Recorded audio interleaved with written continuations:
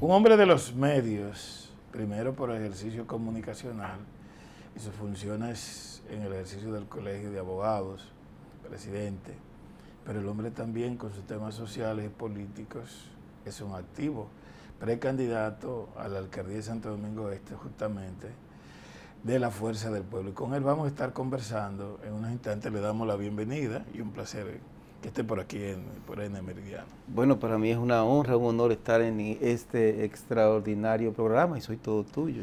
Pero un placer, un placer. Mire, previo a los temas partidarios formalmente, el país ha sido sorprendido, como una vez más, con este tema del aviso de que publicó eh, Canadá. Ha habido una respuesta del canciller, pero están apareciendo datos de que el ministro de Relaciones Exteriores como que hubo un tratamiento sobre ese tema, de alguna manera. Y de hecho, depositado aquí ya, publicado de que fue el martes, hay la verificación de conversaciones del presidente con el canciller y con el presidente de, Canadá. ¿Cuál es la opinión suya sobre el particular? A mí no me sorprende en absoluto la actitud, primero la disposición del gobierno de ceder eh, el suelo dominicano para todo lo que tenga que ver prácticamente la destrucción de nuestra nacionalidad y lo decimos eh, con conocimiento de causa, porque en cada uno de eh, los foros internacionales, independientemente de lo que se dice de la boca para afuera, al final del día son los hechos lo que valen. O sea, de nada vale lo que tú digas, las palabras se las lleva el viento. Eh, esto solamente es otro elemento más que se suma a la situación de caos que hay en materia migratoria. Situación de caos que se vislumbra por una inacción total de las autoridades ante eh, la presencia en nuestro país de millones de personas indocumentadas y de organizaciones dedicadas a legitimar esa presencia de, gente que viene desesperada por el caos, pero que viene sobre la base de un resentimiento hacia todo lo que es eh, la dominicanidad y sobre la base de prácticamente eh, entender por vía de aprendizaje cultural de que ellos simplemente están recuperando lo que les pertenece, esta parte eh, de la isla. En, esa, en ese orden de ideas, lo que ha trascendido en los medios luce contradictorio. Desde el punto de vista diplomático, el hecho de que el gobierno de Canadá anuncie la instalación de una oficina para socorrer a Haití implica necesariamente que previamente ha obtenido la autorización del gobierno dominicano y que el gobierno ha aprobado ese tipo de despropósito contra la soberanía y la nacionalidad dominicana. La instalación de ese tipo de oficinas no es más que el preludio a la instalación de centros de refugiados en la República Dominicana. Y eh, sobre todo cuando proviene de las eh, eh, organizaciones internacionales que viven desacreditándonos con esa comunidad internacional que es directamente responsable del caos y que ha conformado ese plan, ese plan maestro para eh, destruirnos, para resolver el problema haitiano a través de la fusión. Es decir, no, no, ellos no están pensando siquiera en, en elevar los niveles de vida del vecino país de Haití ellos no están pensando en hacer las inversiones necesarias para que ese país pueda caminar con sus propios pies. No, ellos están pensando en reducir y destruir este país, reducir la paz de este país a los niveles que está Haití, porque eso es lo que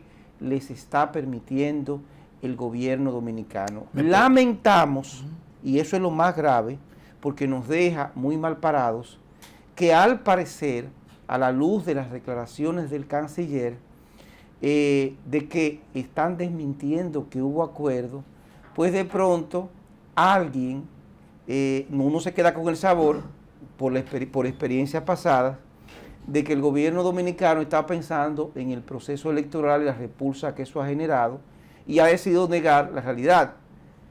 ¿Qué ocurre? Que en este caso uno tiene que llegar a la conclusión por la contradicción de declaraciones que uno de los dos está mintiendo. O está mintiendo en Canadá o está mintiendo el presidente de la República o el canciller. Y ojalá que algún día se sepan y ojalá que el gobierno dominicano entienda que eh, hay eh, cosas eh, de Estado, hay comportamientos y protocolos a nivel internacional con los cuales no se juega.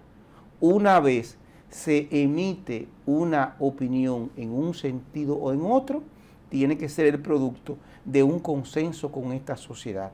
Y la opinión que debió haber emitido el gobierno dominicano desde el principio Simple y llanamente era, no es posible la instalación de campos de refugiados en la República Dominicana. Y digo campos de refugiados porque ese es el objetivo específico. Eso le quería preguntar, porque yo lo que han hablado de despachar ayudas para la Policía Nacional, eh, la Policía Haitiana. ¿Por qué usted establece que eso sería establecer realidades eh, aquí en Dominicana de campos de refugiados?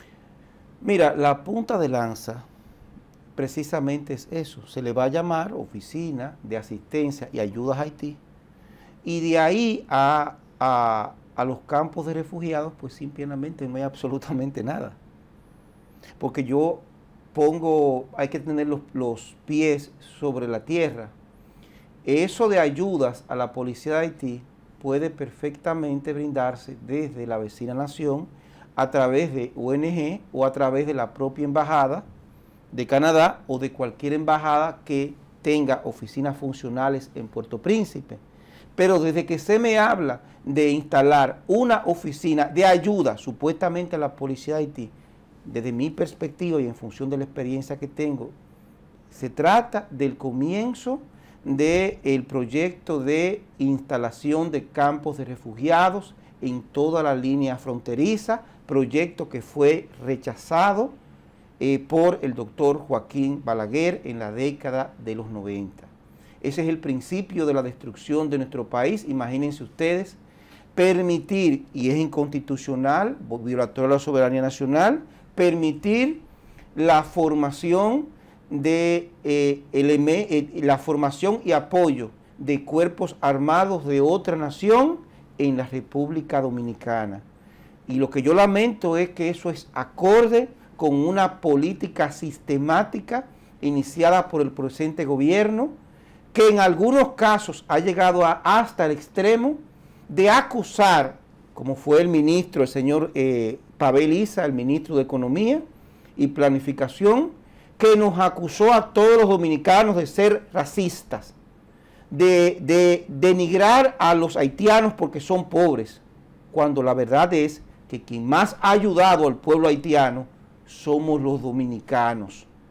Y que eh, declaraciones como esa simplemente externan, sobre todo porque todavía está en su cargo, que es una política del gobierno actual, aliarse con la comunidad internacional para destruir nuestro país como lo conocemos y coadyuvar a la invasión total y posterior legalización de todos los indocumentados que se encuentran en la República Dominicana. Y eso tenemos que enfrentarlo y tener ojo pelado con eso.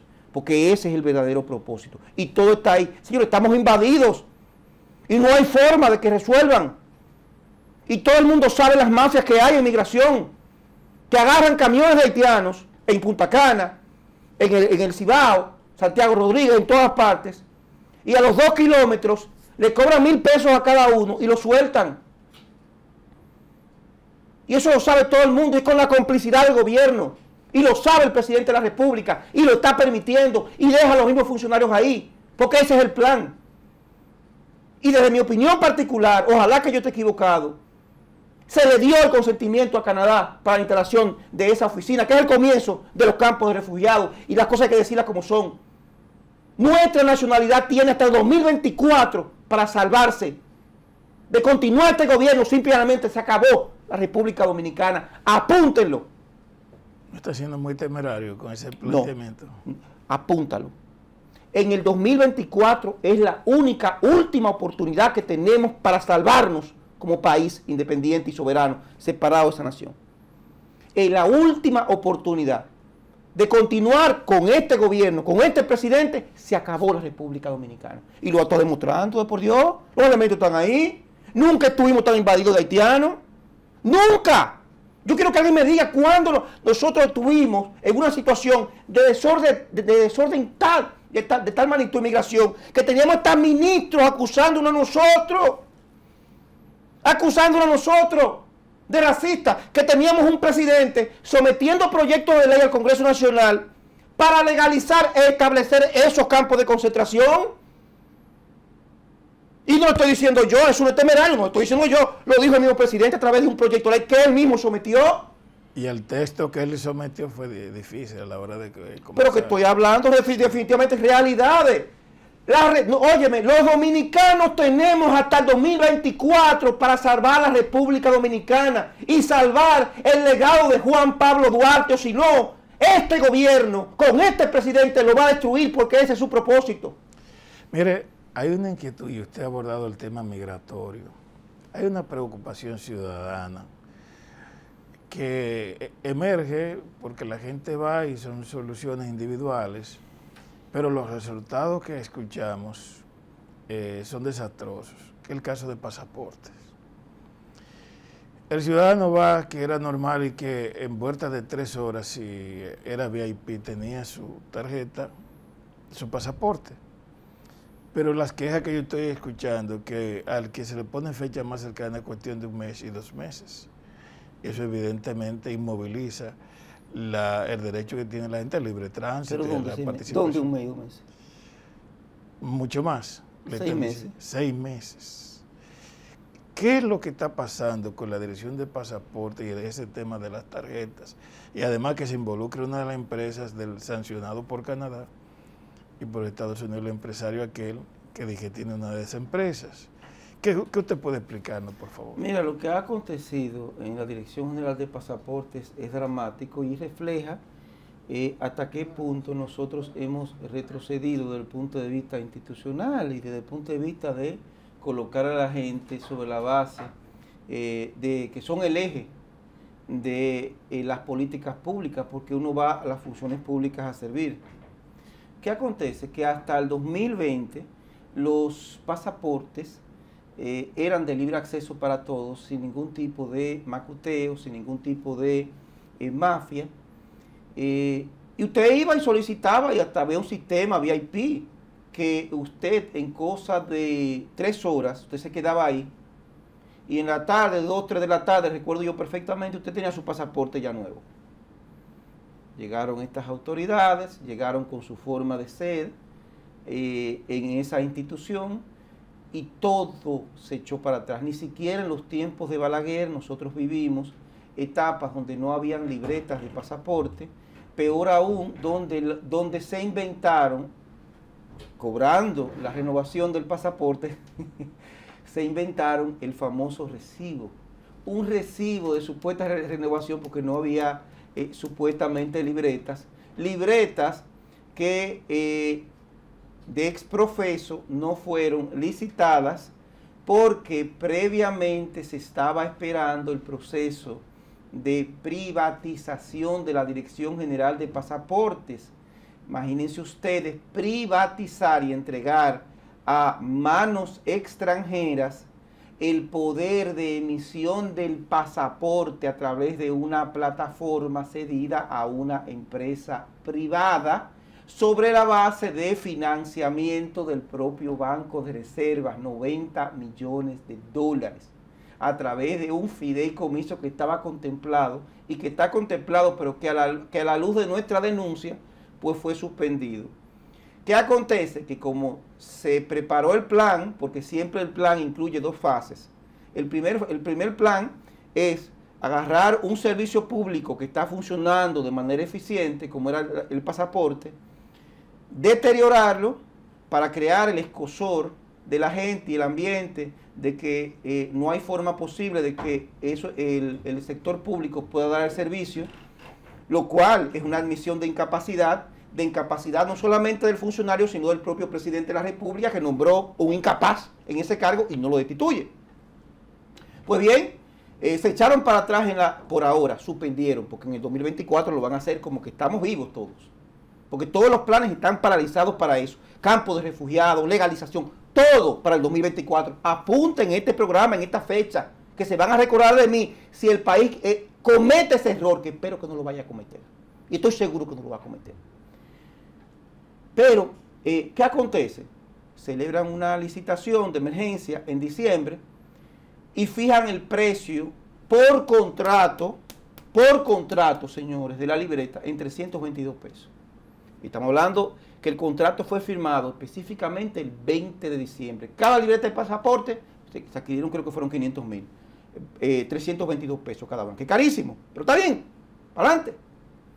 Señores, pero ahora se hizo una licitación en marzo, se agarra, en marzo, en mayo, se agarra y se excluye a empresas americanas, norteamericanas, empresas francesas, eh, competitivas que cumplían los requerimientos, que estaban ofertando libretas de muy buena calidad, y de pronto se eligen libretas que no cumplen los requerimientos a 595 pesos cada una, con una sobrevaluación de 270 pesos por encima del valor que fue que contrató la misma compañía en diciembre, compañía que la Cámara de Cuentas eh, estableció y señaló, me refiero a Midas Dominicanas, que a la luz de un contrato con Cancillería había incumplido sus obligaciones a pesar de haber recibido los recursos correspondientes.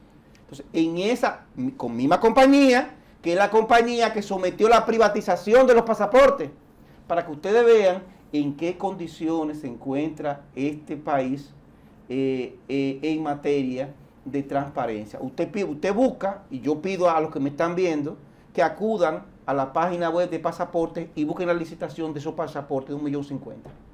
Ustedes multiplican un millón cincuenta por 270 pesos. ¿Usted sabe cuánto le da eso? no son 270 millones de pesos en una sola transacción. 270 millones de pesos. Vayan a la página web a buscarlo. No aparece documentación. Y veo a Carlos Pimentel. Ese Carlos Pimentel que tanto criticó a su antecesora, que casi cayó presa por quedarse callada, según ellos, según Carlos Pimentel. Señores, veo a Carlos Pimentel defendiendo de que la transparencia de, una transacción tan cuestionada como esa, eh, haciendo exactamente lo mismo que él señalaba y que hacían los otros de manera indigna, y en algunos casos de manera corrupta, según él. Como usted sabe del tiempo en los medios, tenemos que hacer una pausa, en un momento volvemos para que hablemos ya en orden partidario. Una pausa y aquí estamos.